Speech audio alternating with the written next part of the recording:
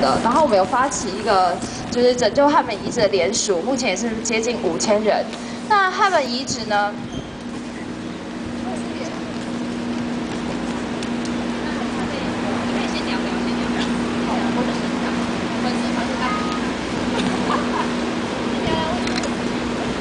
那我们这个粉丝专业最一开始会成立啊，就是因为有一些。呃，就是有在关心台湾史的朋友，然后还有一些就是其他的民众，他们就是呃对于汉门遗址非常关心，因为大家都知道，就是副副县长认为就是汉门遗址阻碍了大家的深入。那事实上呢，其实并不是这样子的。我们希望就是这个遗址呢可以好好的保存下来，但是同时我们也希望不要延误到。那这个部分呢是政府有关单位要进行努力才有办法办到的事情。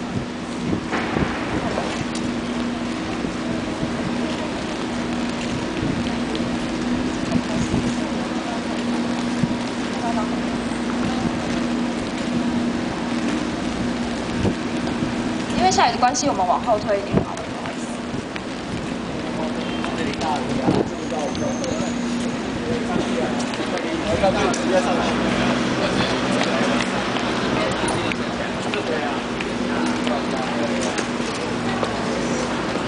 谢谢，不好意思。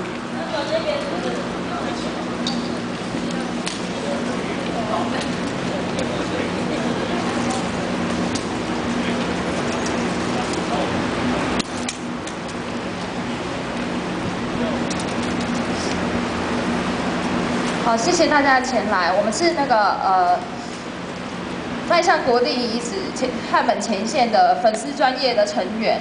那我们的成员总共有就是六千多人，就是包含粉丝们。那呃，有花莲地区的朋友，也有宜兰地区的朋友。那还有一些其他就是来自台湾各地关心这个文史活动的人。我们同时也有发起一个联署，那联署已经接近五千人了，就是想要拯救汉本遗址的联署。那今天那个汉本遗址呢，在台湾是一个少数的，我觉得台湾很少见，因为它是遗址之中少数就是非常完整的遗址。我们希望可以好好保存下来，就作为未来宜兰跟花莲的观光资源。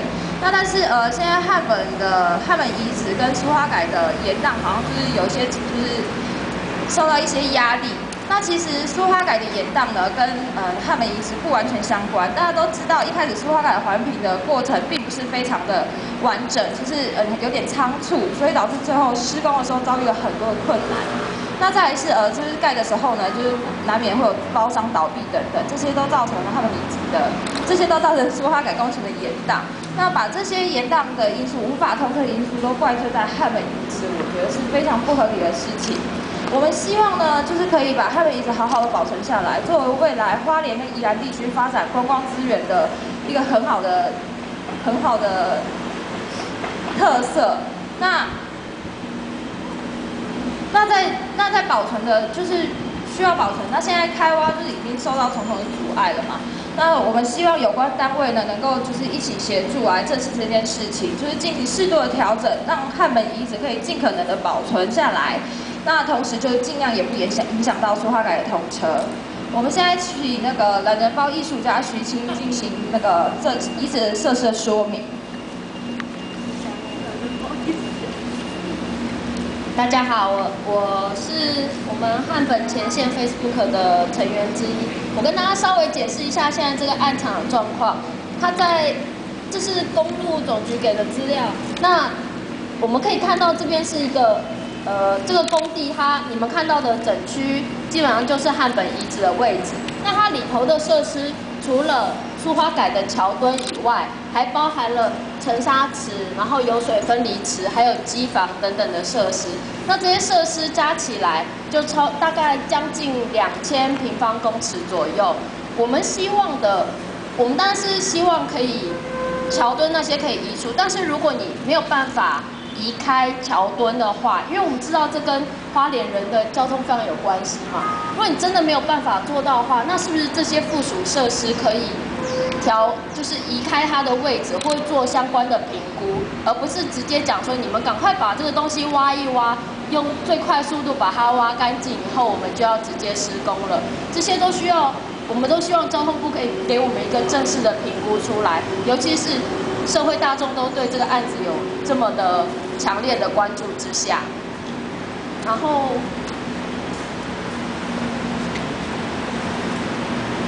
那我们现在请那个呃，有那个文史爱好者，呃，冰葵妙小姐进行发。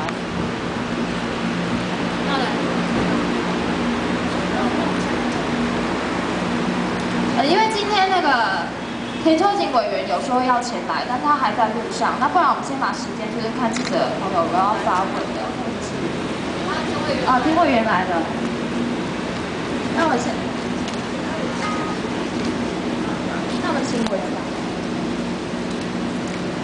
啊，跟大家报告哈，我在念大学的时候就认识刘以昌老师哈，啊，那个时候他是我的学弟，我们两个人参加台大田径队，啊，我记得那个时候，这个卑南遗址刚发现，他去参与，啊，这个随着他的老师去参与卑南遗址的抢救考古，就是在怪手挖掘之下去抢救那些千年遗址，我还记得他跟我讲那个故事。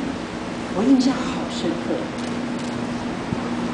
现在这么多年过去了，我们还是在做抢救考古，但至少，至少这次是我们怎么讲也不是哎，这次是无意中发现，就是我们的国家文资法规定，你工程在进行的时候，你要派类似像考古的监督人员，然后在他是他本来不是那个点的监督人，他是去聊天、吃饭时间、休息时间，去别的点聊天的时候，抬头一看，哎，那好像有一些遗址的东西，所以才发现我们汉本遗址。后来我们才发现，汉本住在汉本遗址这些人非常的神奇，在千年的过程中间，这个遗址曾经遭到洪水冲洗。但是后来的人又不来了，这是一个不断吸引我们的祖先回去居住的一个非常有吸引力的地点。有一张老师，我曾经为他开过协调会，他放了他所发现的那些东西给我看，是精彩到不得了。他说比十三行遗址搞不好都更精彩。这样的遗址，今天碑上说妨碍书花。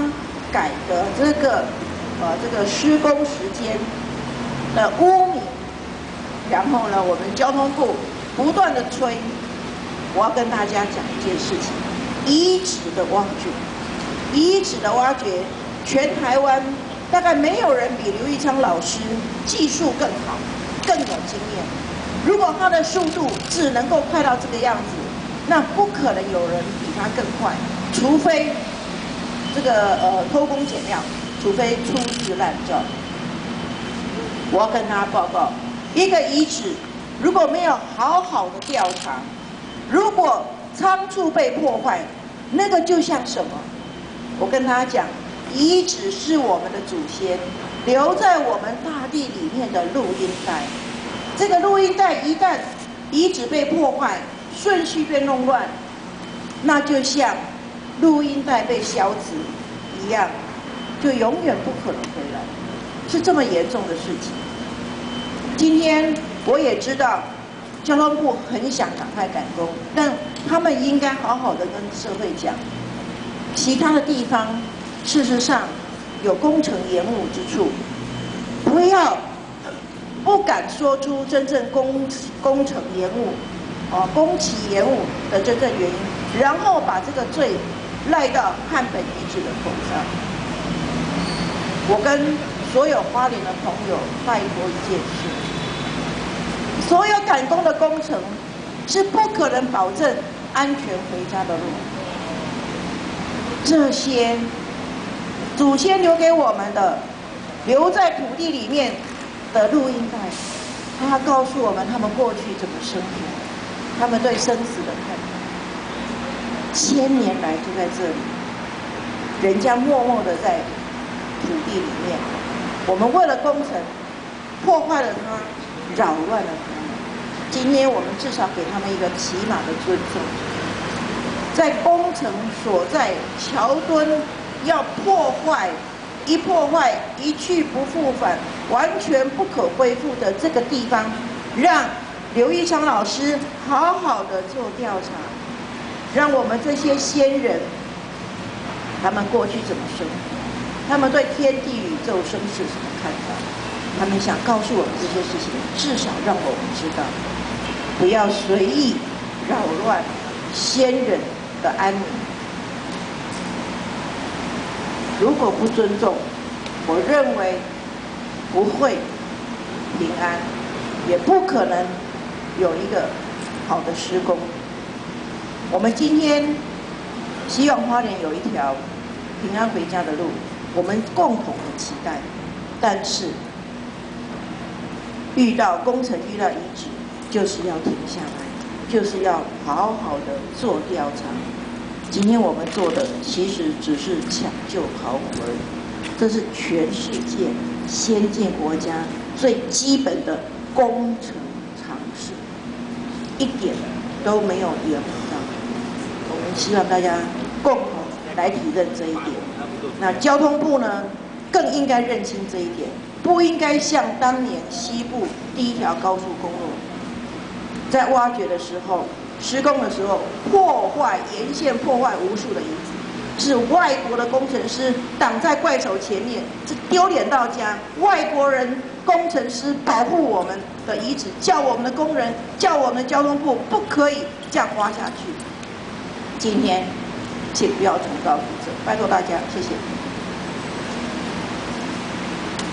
哦，我们谢谢田委员发言。那我们再请那个就是徐清朋友讲补充一下，就是关于目前那个呃，这目目前就是施工单位就是给遗址的限期跟天数的状况。大家好，我我想解释一下我们现在遇到的田，他现在是希望我们不是我们啊，他希望新的考古团队可以在两百五十天内就把呃可以挖的赶快。挖一挖，清干净。但是这个两百五十天，它的基准是怎么出来的？刚刚田委员也有提到，就是我们并没有办法，呃，这样子去限定一个考古挖掘的时间。再来是，我们也希望它可以指定成国定遗址，让交通部可以跟文化部共同的来商议这件事情，由国家的中央对中央来来做呃讨论，而不是。让现在那个宜兰县来承受这样子的压力，承受来自花莲或来自中央的压力，那这是我们的诉求之一，就可以指定为国定遗址。谢谢。那我们再请文史爱好者林坤亮小姐，就是对文字的部分进行一些说明。嗯，好，大家好，就是接续刚刚那个两百五十天，就是我们其实觉得这两百五十天是非常不合理。为什么呢？就是说你其实现在并不清楚说整个遗址的呃范围大到什么程度，以及说它的那个地层是不是每一个挖下去都是都是有多深，这个其实没有那么肯定。那怎么可以说呃未审先判的就先在合约里面载明了说一定要在两百五十天之内抢救完成呢？再来就是说这两百五十天。呃，里面它还包括了说，希望就是合约里面还写了说，就是希望可以赶，就是赶进度的加工。那这样其实一个一个除了说是可能会对现场的那个文化层就是造成很大的破坏以外，就是说当它限定要现场加工的时候，就是说如果你挖到东西的话，就是赶快把它。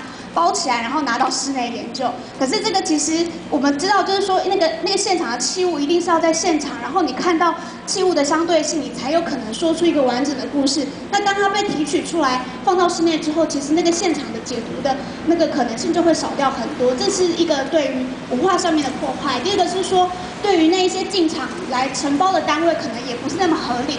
要么他就是很乖的听公路总局的进度，然后照公路总局的方式来做事。那要要要，如果不是这一种，那可能对他来讲，那就是一个很不合理的合约。就如果他在挖掘过程中发现真的有更多的事实出土的时候，那么这个两百五十天、两百五十天的限制，是不是更好？就是会造成了违约的可能。那这样子以后会衍生更多的争议。所以这个其实反过来也要说，就是开发单位其实，我觉得就是那个思维要与时俱进，就是如果他不把文化当做一回事，文化本来就是在开发过程里面必须要承担的风险。他不把这个风险当一回事的话，其实衍生的争议才真的会浪费了很多社会资源，以及有可能导致说最后因为争议，所以会有一些拖延的时程，然后再把最后再把这个时程怪给哦考古团队或是文字的抢救团体，这是非常不对的。那我们也在就是另外要强调，就是说，当我们的开发单位还不具备把文化当做是它工程里面必须要考量的重要因素之一的时候，其实就是文化部应该要出面的时候。就是我们其实有听到，呃，傅昆萁县长在说，到底是死人重，那个活人重要还是死人骨头重要？其实死人骨头如果活人好好的诠释，其实它就是活的资产。那其实比较担心的反而是我们的文化部门，其实常常才像死人骨头一样，不讲话不做事。就是我们不但要请他依法行政，其实还希望他要积极的依法，因为常常依法行政就会发现文化部就是会推给地方，那地方又会抵抗不了，就是所谓来自地方的压力、明一那个明代的压力、地方势力的压力，所以其实文化。地方文化局能做的事情，经常是非常退缩的。那必须这件事情必须要是文化部出面来跟交通部在中央的层级来做一些协调，才有比较可能获得一个比较妥善的处置。就是这个是我们要强调，就是文化部千万不要像死人骨头一样，就是不讲话不做事哈。然后让真正其实可以活起来的死人骨头，可以讲话的死人骨头就这样子就消失在历史中。好，这是我要说的。谢谢，那谢谢各位啊。那我们再重，那我再重新一次，就表达一下我们的诉求。我们希望有关单位呢能够出来，第一个就是让它成为一个指定的遗址。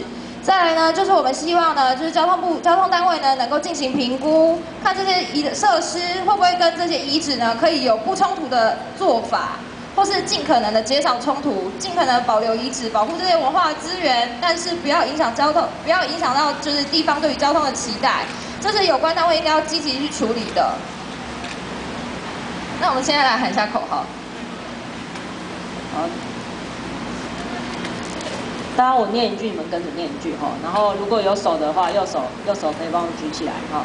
来，第一句哈，尊重专业，尊重专业，挖好挖满，挖好挖满，尊重专业，尊重专业，挖好挖满，挖好挖满，珍贵汉本，珍贵汉本，加速指定，加速子弟，珍贵汉本，珍贵汉本，加速子弟，加速子弟，设施可移位，设施可移位，汉本不能毁，汉本不能毁，设施可移位，设施可移位，汉本不能毁，汉本不能毁，抢救死人骨头，抢救死人骨头。抢救死人骨头。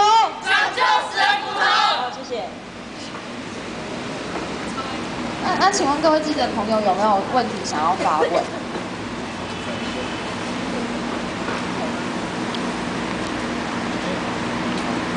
那我们今天就这样子告一个段落了，谢谢各位，大家可以来我们的粉丝专业按赞，我们叫做好，我们下午两点会前往那个呃，那叫什么苏澳，就是苏花改工程处，就是进行会议的参与，因为今天是监督小组的会议，这样子，谢谢各位。坐下，我去收收片。